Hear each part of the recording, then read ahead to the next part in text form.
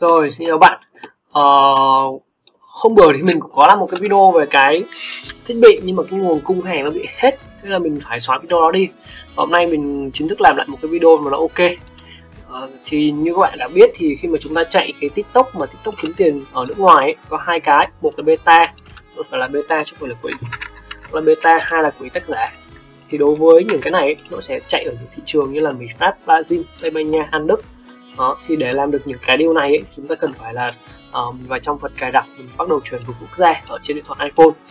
Đó thì đó là lý do tại sao chúng ta cần phải sử dụng là những cái có điện thoại iPhone. Với iPhone thì mình có test hai cả hai dòng một iPhone 6s và hai là iPhone 7 Plus. Thì tuy nhiên thì ờ, trên con 6s này ấy, thì mình mua lại của người dùng cũ được một cái là cái giá nó khá là rẻ. Nhưng kiểu mình không biết ấy, thì họ đã tiến hành thay pin này mình vào trong phần cài đặt mình thấy là cái pin nó rơi tầm trăm phần trăm nhưng xài được tầm 15 phút nửa tiếng là nó tụt hết luôn kiểu pin nó đã qua sửa chữa mà họ kiểu họ mình vào trong với các chất thông thường ấy. Và mình thấy là pin 100% nhưng mà tầm 15 phút là nó lại kiểu bị bị rớt. Giống như kiểu bị bìm ấy không biết phải có phải không? Kiểu họ đã dùng kiểu gọi là ngôn ngữ chuyên ngành thì gọi là đi spa lại. Và khi mình dùng thì mình up những video tầm 30 giây đến một phút mà cảm giác nó cứ bị giật giật giật giật lag lag ấy, thì bắt đầu mình thấy nó không ổn lắm. Mình mới chuyển sang dòng iPhone 7 thì khi mà chuyển sang dòng này thì mình up video nó rơi tầm là 4 5 phút. Nó phần rất là mượt nó giống như kiểu iPhone 10 11 Pro Max Max của mình đang dùng ấy là mình cảm thấy ok. Ở bên cạnh đó được anh em có thể thấy cái màn hình nó cũng khá là to so với con iPhone 6s thì khi mà mình làm thì kiểu mình cầm con điện thoại to mình làm nó được sướng hơn. Ừ. rồi. Đó.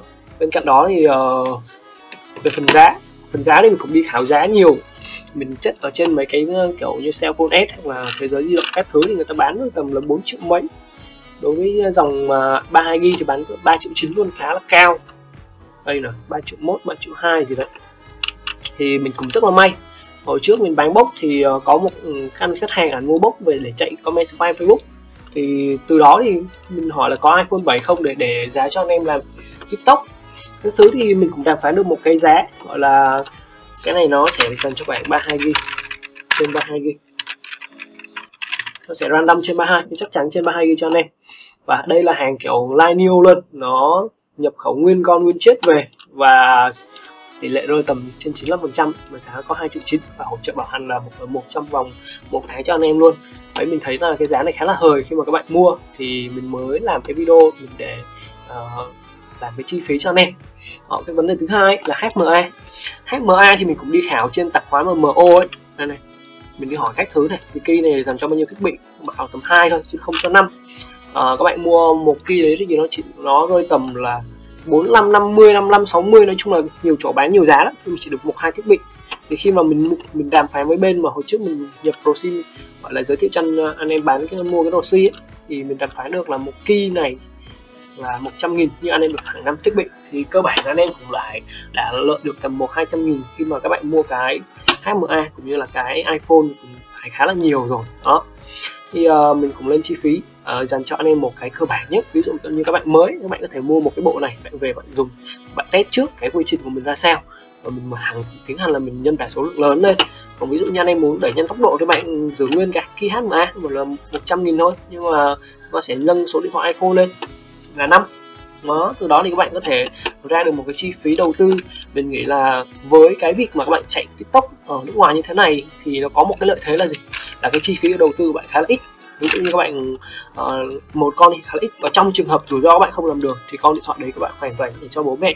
Vì đây là những con điện thoại nó live new rồi thì nó không có nó kiểu cam nghe gọi rồi vân tay cách thứ đầy đủ cho bạn luôn. Thì mình nghĩ là đây là một trong những cái kèo đầu tư khá là hời cho anh em. Ừ và mình còn có thể mua được những con điện thoại giá rẻ hàng chính hãng. Ok. Đó, thì mình lên video. Anh em nào mà các bạn muốn mua và, gọi là, muốn được ờ, vào cái bên bán họ hỗ trợ thì cho nhóm ở dưới cái đường link mô tả video nhé. Ok.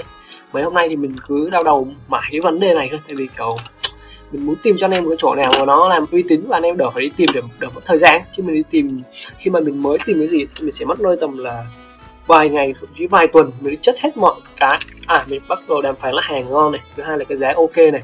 Đó mình mới lên làm video cho anh em cái video thì tầm 10 phút nhưng mà có thể khả năng là mình phải đi tìm nát thôi tầm 7 đến 10 ngày đấy. Đó thì đây là mình muốn anh em gọi là tiết kiệm về mặt thời gian như chi phí.